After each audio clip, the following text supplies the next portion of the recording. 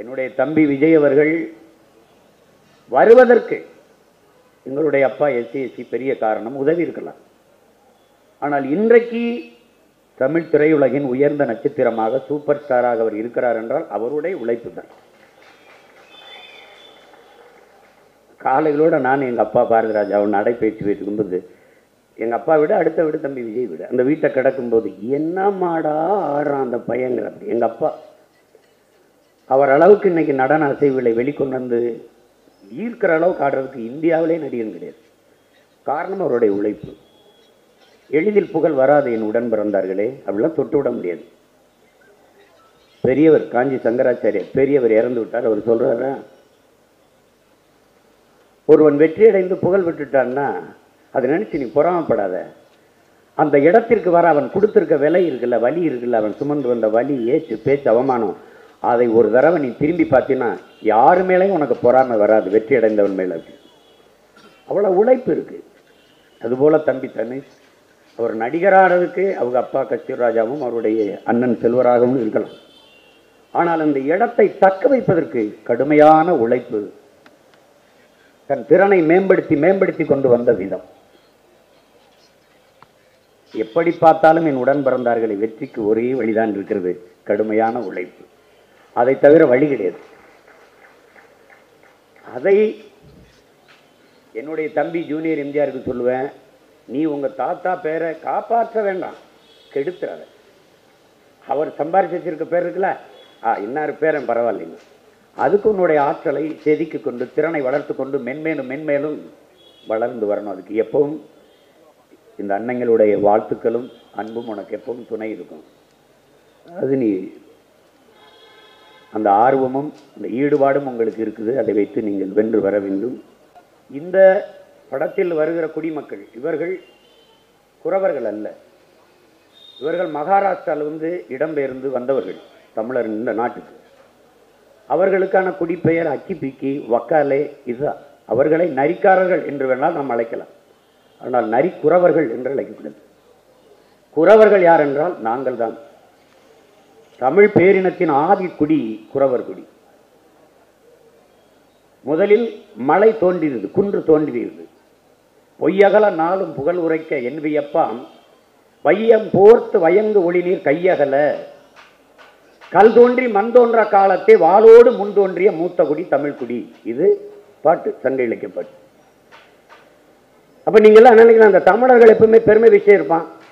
கல் தோன்றித்தான் மண் தோன்றலையா அப்பவே தமிழன் தோன்றிட்டான். ஆமா தோன்றிட்டான். ஆமா தோன்றிட்டான். முதல் மாந்தன் தமிழன் அவன் பேசிய முதல் மொழி தமிழ் என்று உலக பேரறிஞர்கள் ஒத்துக்கொண்டார்கள். எங்களுடைய தாத்தா பேரினைய பாவாணர் தன் ஆயுள் முழுக்க ஆய்வு செய்து முதல் மாந்தன் தமிழன் அவன் பேசிய மொழி தமிழ். இது நான் சொல்ல வேணாம். எங்க தாத்தா தேவனைய பாவாணர் சொல்றான் அமெரிக்காவின் மொழியில் அலெக்ஸ் குளியர் ஆய்வறிஞர் அலெக்ஸ் குளியர் சொல்றான் முதல் முதலாக மனிதன் பேசிய மொழி தமிழ் என்று. என்ன இன்னைக்கும் அ- அலெக்ஸ் உயிரோடு இருக்கார் அமெரிக்காவில் இருக்கார்.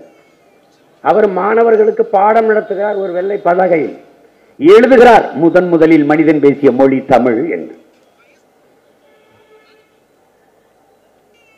அப்ப கல் தோன்றி மண் தோன்றல்னா என்ன அர்த்தம்?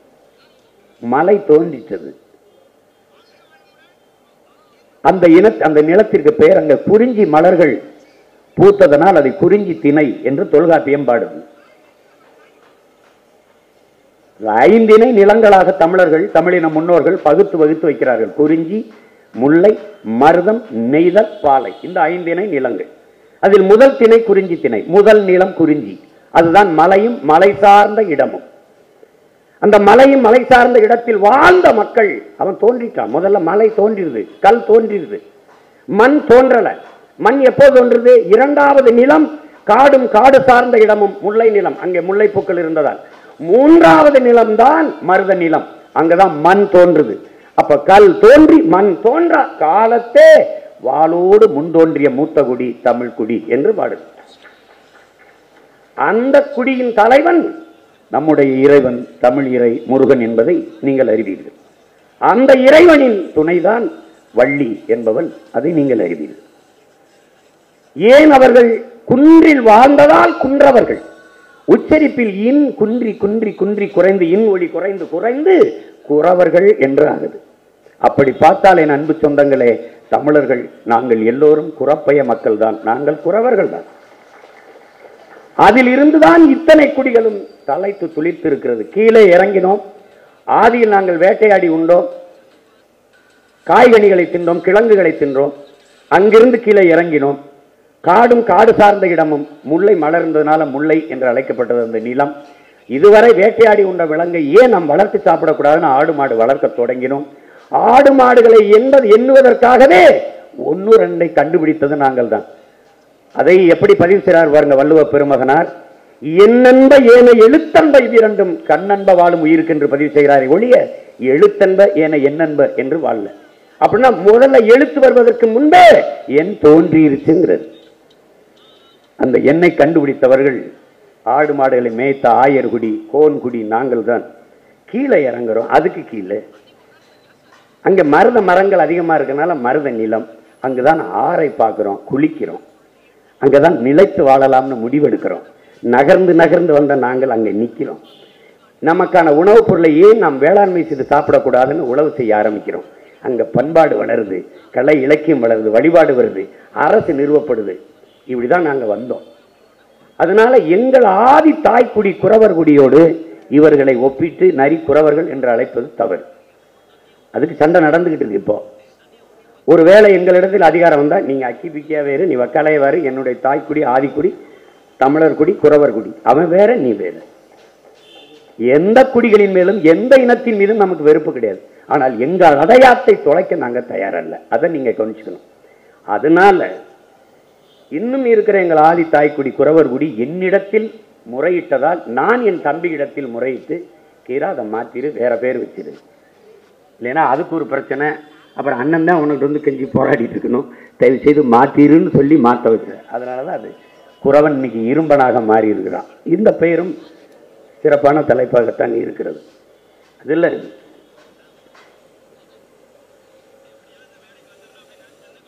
இன்னைக்கு அறிவியல் தொழில்நுட்பம் வளர்ந்து விரிவடைந்துருச்சு.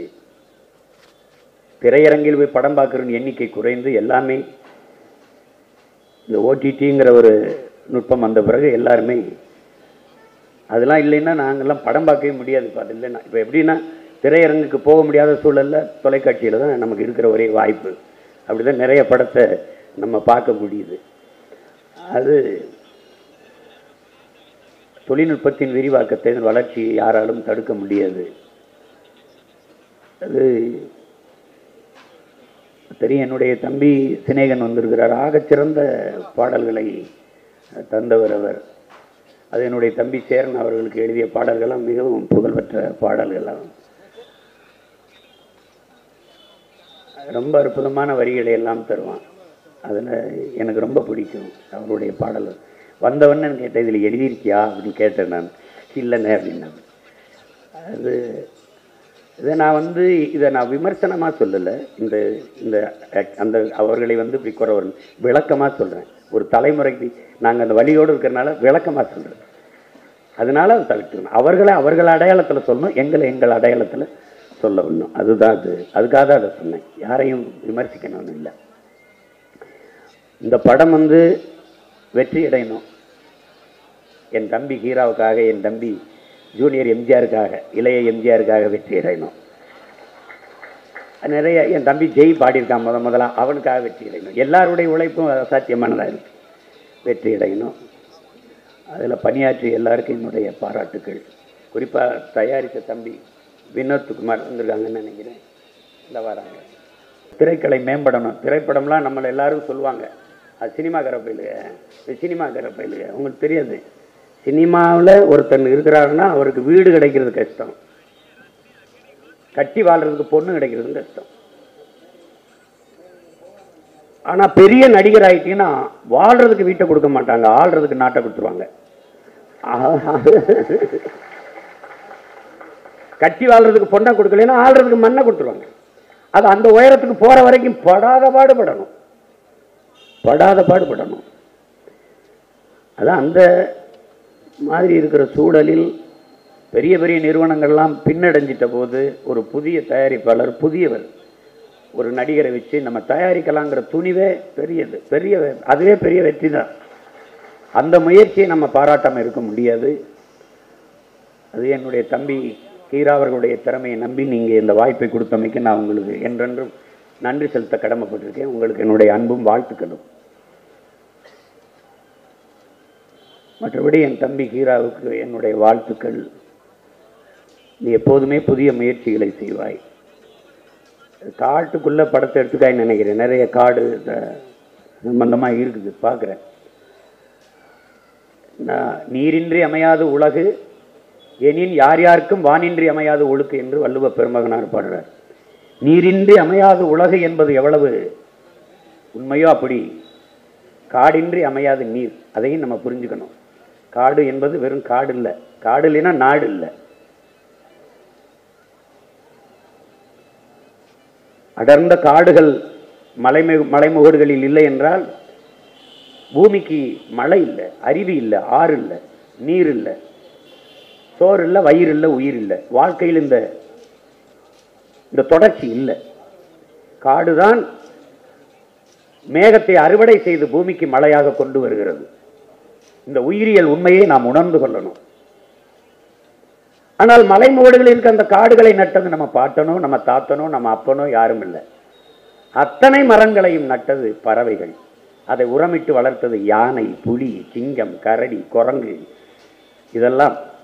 அதனால்தான் அந்த உயிர்களை எல்லாம் பாதுகாக்கணும்னு நம்ம சொல்றோம்.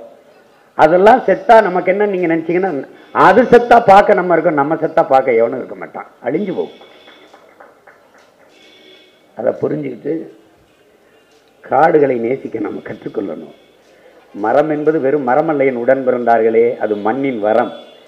வெறுமனே வீசுகிற நச்சுக்காற்றை மூச்சுக்காற்றாக மாற்றி தருகிற அரிய பணியை உலக உயிர்களில் மரம்தான் செய்கிறது. அந்த மரங்களிலும் பல மரங்கள் இருக்குது. வேப்ப மரம் பகலில் தான் மூச்சுக்காற்றை வெளியிடும். இரவில் நச்சுக்காற்றை வெளியிடும். கார்பன் டை ஆக்சைடு வெளியிடும். அதுக்கிட்ட படக்கூடாது இரவில் வேப்ப மரத்தின்களை படுத்திங்கன்னா நெஞ்சு அழுத்தமாக இருக்கும். யாரோ ஒருத்தர் ஏறி நெஞ்சு அழுத்தரமாக இருக்கும். மூச்சு திணறல் வரும். அதை கிராமத்தில் அறியாத அறிவியல் அறிவு இல்லாததால் ஏதோ பேய் வந்து அழுத்துதுன்னு நினச்சி அவங்க நினைப்பாங்க. அது பேய் இல்லை. அதுக்கா நச்சு காற்றை வெளியிடுது. அதை சுவாசிக்கும் போது மூச்சு திணறல் வருது. ஆனால் இருபத்தி நாலு மணி நேரமும் மூச்சு காற்றை வெளியிடுகிற உலகத்தில் இரண்டே இரண்டு மரங்கள் தான் இருக்கு. ஒன்று ஆலமரம் இன்னொன்று அரச மரம் இந்த ரெண்டு மரம் தான் இருக்கு. துளசி அவங்க வீட்டில் வழங்கினது பட்டிக்கிள்ளையின் உடன் பிறந்தார்களே அது புத்திக்கு. துளசி செடி ஒரு நாள் இருபத்தி நாலு மணி நேரத்தில் இருபது மணி நேரம் ஆக்சிஜனையும் நாலு மணி நேரம் ஓசோன் காற்றையும் வெளியிடுது. அதனால தான் குளிச்சுட்டு இந்த துளசியை கொஞ்ச நேரம் சுற்றி வா. நல்ல காற்றை சுவாசிக்க கோயில் குளத்துல ஏன் நீ புளிய மர வேப்ப மரத்தை முன்னோர்கள் வைக்கல? கோயிலை கட்டினா ஒரு குளத்தை வெட்டினா அங்கேயே ஆலமரம் அரச மரத்தை வச்சான். பிள்ளைகள் குளித்துட்டு இந்த மரத்தினில் உட்காந்து நல்ல காற்றை சுவாசிக்கட்டும்னு நம்ம முன்னோர்கள் செஞ்சான். அவ்வளவு சயின்ஸ் அவ்வளவு அறிவியல். அது எதுவுமே தெரியாம நம்ம இருந்து பயன் இல்லை அத தமிழ் இளம் தலைமுறையினர் கற்றுக்கொள்ள வேண்டும். அப்படி காடு காடு வளர்ப்பை பற்றி காட்டின் அருமையை பற்றி வலியுறுத்துகிற இந்த படங்கள் வருவது எனக்கு மகிழ்ச்சி. அண்மையில் கொண்ட பள்ளம்னு தெலுங்கில் ஒரு படம். இப்போ காடு நிலம்னு வருது தமிழில் வர மொழிபெயர்த்து மாற்றம் பண்ணியிருக்காங்க. ஒவ்வொருத்தரும் பார்க்கணும். காட்டின் அருமையை பற்றி நீரின் அருமையை பற்றி ஆடு மேய்க்கிற ஆயர் குலத்தில் அந்த இடையர் குலம் அந்த இடையர் என்பது வந்து குடிப்பெயர் அல்லது காரண பெயர் ஏன்னா குறிஞ்சி நிலத்திற்கும் மருத நிலத்திற்கும் இடையில் வாழ்ந்ததால் நாங்கள் இடையர்கள் என்று அழைக்கப்பட்டோம். அது எங்கள் குடிப்பெயர் இல்லை. எங்கள் குடிப்பெயர் ஆயர் கோன். அதான் எங்கள் குடிப்பெயர். அப்போ அதில் அந்த படத்தை நீங்கள் பார்க்கணும் தயவு செய்து பார்க்கணும். காட்டின் அருமையை அவ்வளவு அழகாக விளக்கி அந்த படம் சொல்லும். அதுபோல் இந்த இரும்பன் படமும் இந்த மக்களுக்கு பயனுள்ள அரிய கருத்துக்களை கொண்டு போய் சேர்க்கும் என்று நான் நம்புகிறேன்.